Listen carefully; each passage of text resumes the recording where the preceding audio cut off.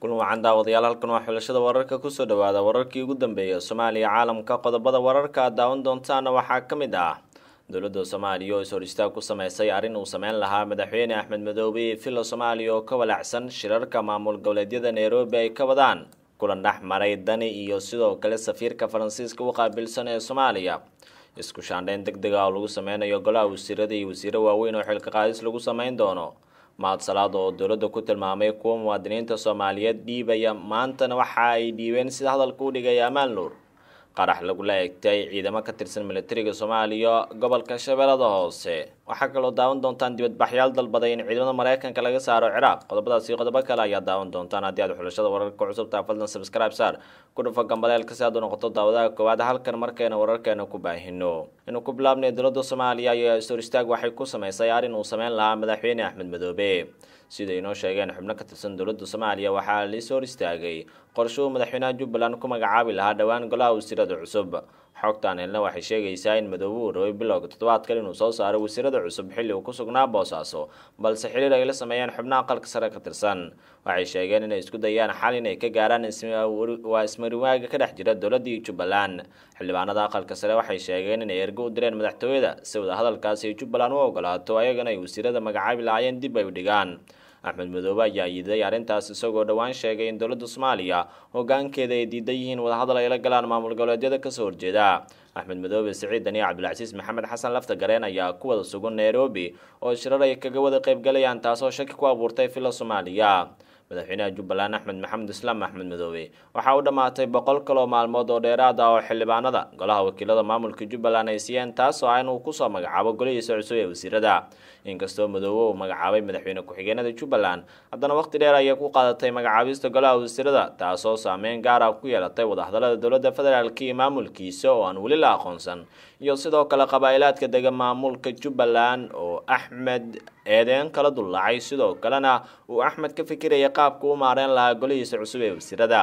geesta kale golaha wasiirada cusub ee axmed madoobe uu doonayo inuu magacaabo waxaa ka maqan lafdhabarkan inuu u arkayay waa cabdirashiid maxamed nuur janan kaasoo dowladda federaalka u xiran bishii agosto labada kun iyo sagaal iyo tobanka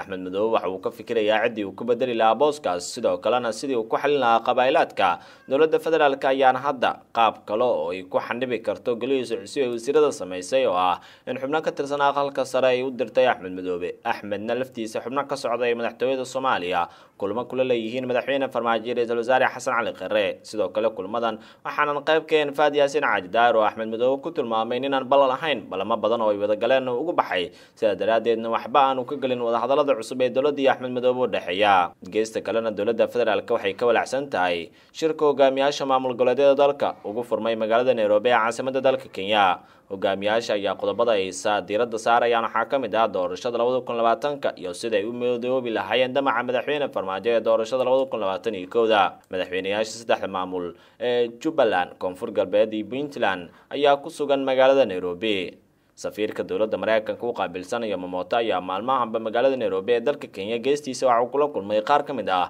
madaxdaas ee ku sugan halkaas safiirka waxauu la kulmay madaxweynaha puntland saciid cabdulaahi dani kan jubbaland axmed maxamed islaam axmed madoobe iyo madaxweynaha koonfur galbeed cabdilcasiis xasan maxamed laftagareen oo maalmo ka hor halkaas gaaray safiir yamamoto waxa uu sheegay in dowladda mareykanka ay gacan ka geysanayso sidii la isugu soo dhoweyn lahaa dowladda dhexe iyo qaar ka mid ah maamul goboleedyada sidii loogu wada shaqeyn lahaa ammaanka iyo caqabadaha taagan wadaxaajood ay yeeshaan labada dhinac ayuu sheegay inay muhiim tahay sidaa daraaddeed waxyaabaha nairobi ay u joogaan ayuu yamamoto ku tilmaamay in arrimahaas qayb ay ka tahay. Inkastoo la ogyahay in khilaaf aanu ka dhexayn cabdilcasiis xasan maxamed laftagareen iyo dowladda madaxweyne farmaajo. Haddana waxaa la ogeyn sababaha keenay in laftagareen uu la shiro axmed madoobe iyo saciid dani oo kula xaroodo magaalada nairobi mar keliya ayay ka wada degeen garoonka jomo kenyatta walow saacda ay ka kala horeeyeen. Haddana arrinta la yaab kale waxay tahay waxyaabaha soo dedejiyeen lafta gareen uu halkaas tago xubno mucaaradna halkaas uu ku qaabilo diblomaasiga ugu sarreeya safaaradda mareykanka ee soomaaliya waxa uu sheegay in markii uu la kulmay madaxweyne lafta gareen ay ka wada hadleen ammaanka gobolka shabeellada hoose waxaana uu ku booriyey inuu sii xoojiyo dadaalada uu wado ee ku aadan mideynta maamulka koonfur galbeed. Madaxweynaha hirshabelle maxamed cabdi waare ayuu safiirku sheegay in sidoo kale uu kala hadlay mareykanka iyo soomaaliya sidii ay isaga kaashan laayeen al-shabaab iyo xoojinta xiriirka maamul goleedyada dowladda federaalka maadaama waaro loo arko nin dhexdhexaad u ah labada dhinac oo la shiri kara dhanka axmed madoobe iyo dani sidoo kalena dowladda federaalka saaxiib dhowla yamamoto ayaana waaro kula hadlay qadka taleefonka dowladda federaalk ayaa kulamada kale ee magaalada nairobi ka socda walaac ka muujinaysa waxaana ay u aragtaa kulamo iyada ka dhan ah dowladda kenya kol hore waxay diiday in xubno mucaarada ay ku shiraan magaalada nairobi balse waxaa la ogyahay in kenya hadda aysan diidi karin in axmed madoobe uu xubno mucaarad ah kula kulmo magaalada nairobi maadaama axmed madoobe ay u arkaan saaxiibka ugu dhow ee madaxda maamul goboleedyada ay haystaan sidoo kale siciid cabdulaahi dani ayaa halkaas kulamo ka wada balse waxaan la ogeen sababaha keenay in lafta gareen uu gaaro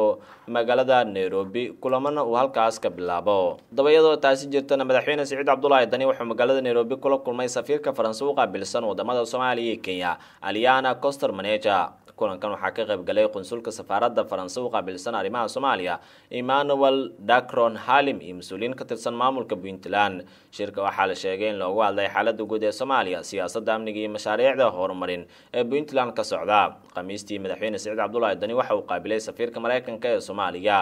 diblomaasiga mareykanka waxaa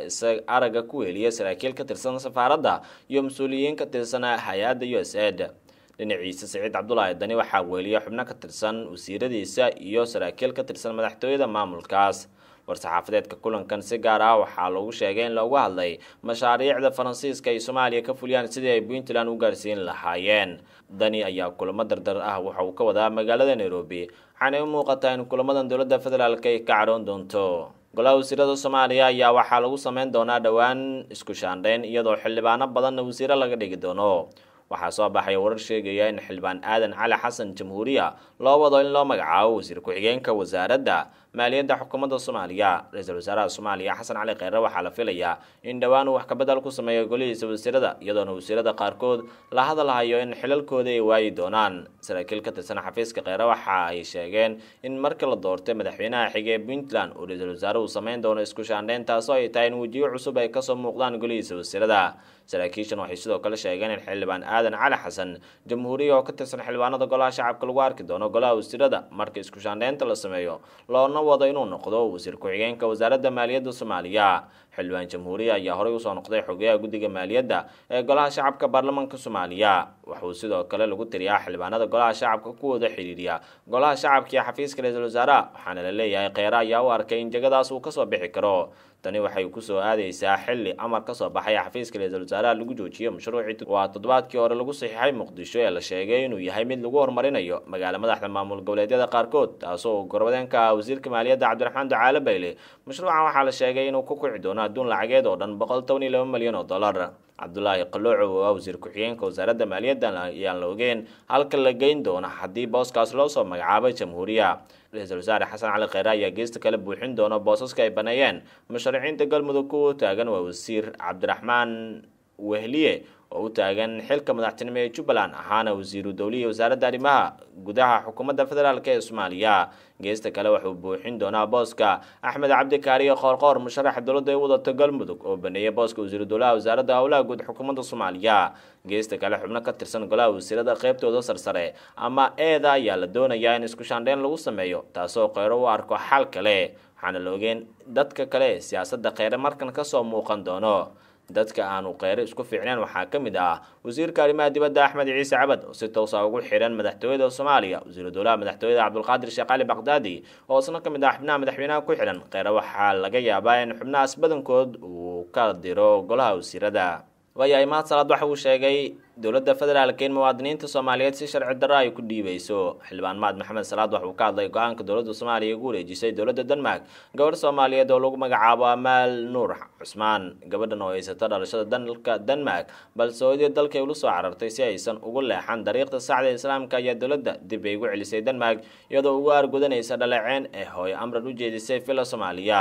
xildhibaan mahad salaad ayaa qoraal uu soo dhigay facebooka wuxuu ku yidhi shalay cabdikariin sheekh muuse qalbi dhagax ayay inta afduubeen etoobiya u dhiibeen. Maantana amaal nuur cusmaan oo waalidkeeda dhul gaalaha kala soo carray si diinteedii dhaqankeeda loo badbaadiyo ayay muqdisho intay ka afduubeen dib ugu celiyeen dalkii loogu soo cararay shalay ayaheed markii uu soo shaacbaxay muuqaalka amaal nuur xasan oo ay wareysanayso taliya xigeenka labaad ee ciidanka booliska jenaraal zakiya xuseen axmed islamarkaana ay weeliso safiirka denmark ee soomaaliya matiya kunugsan ujeedka muuqaalka la dusiye ayaa sida aan xogta ku helnay. Waxaa in lagu muujiyay in amaal wax dhib a loo geysan islamarkaana aysan afduuban ciidamada fila soomaaliya sida hooyadeed ay ku eedeysay ha yeeshee muuqaalkan ayaa cara waxa uu ku abuuray shacabka oo wax lagu xumaado ku tilmaamay in dowladda ay denmark u gacangeliso gabar loogu cararay diinteeda darteed iyo cabsi laga qabay inay waddada saxda islaamka ay ka leexato taasoo hadda halis ay ugu jirto maadaama lagu celiyay denmark sida la tilmaamayo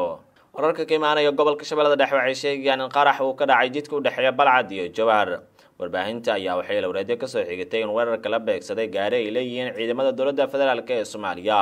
baabuurka ayaa qaraxa uu haleelay xilli uu maraya deegaanka sayga ee waqooyiga ka xiga magaalada balcad sida ay sheegeen goobjoogyaal kala duwan qaraxan ayaa la sheegay inay ku dhaawacmeen askar dhowr oo toban ku dhow ayuu yidhi sarkaal magaciisa ka gaabsaday oo u warmaya warbaahinta maxalliga ee muqdisho. Gurmad lagu daadgureynayo askarta ku dhaawacantay qaraxaas ayaa lagu waramayaa inuu ka socdo meesha uu qaraxa ka dhacay oo ciidamada ay gaareen. Saraakiisha ammaanka gobolka iyo maamulka hirshabelle ayaana weli faahfaahin buuxda ka bixin khasaaraha guud ee ka dhashay falkaas. Al-shabaab kooxda xiriirka la leh alqaacida ayaa lagu bartay dhacdooyinka noocan oo kale ee laga soo wariyay koonfurta iyo bartamaha soomaaliya ugu dambeyntiina kumanaan qof oo taageerayaasha wadaadka ciraaq ee muqtaad sadar ayaa isugu soo baxay magaalada baqdaad ayagoo ka qaybgalaya dibadbax lagu dalbanayo in ciidamada maraykanka lagaga eriyo dalkaas naga baxa kuwa soo duulay. Waxaan rabnaa madax banaani ayay ku qaylinayeen dibadbaxyaasha oo isugu jira rag dhalinyaro carruur iyo habeen. Wakiil ka socda muqtad sadar oo ka hadlay dibadbaxa ayaa akhriyay bayaan ka soo baxay wadaadka saameynta badan ku leh ciraaq bayaankan ayuu ku baaqay in dhammaan ciidamada shisheeye ay ka baxaan ciraaq in laga laabto heshiiska amni ee ciraaq ay kula jirto maraykanka in hawada maraykanka laga xirto military waa hawada ciraaq laga xirto militariga maraykanka in madaxweynaha maraykanka trump uusan kibir muujin marka uu ka hadlayo ama uu la hadlayoba saraakiishooda ciraaq haddii dhammaan arrimahan la fuliyo waxaa maraykanku uu la macaamilayaa sida dal aan soo duulin haddii kalena waxaa loo arki doonaa dal cadow oo ku ah ciraaq ayaa lagu yidhi bayaanka joogitaanka ciidamada maraykanka ayaa arrin xasaasi ah ka eed ciraaq tan iyo markii diyaarad daroon ay ku dileen generaalkii reer iiraan ee jenaraal qaasim suleymaani iyo hogaamiye ku-xigeenka kooxda al-ashcad ee shacab ee shiicada ciraaq guud ahaan daawadayaal waa nageynta warkii aad kala socoteen xulashada wararka nabadgelyo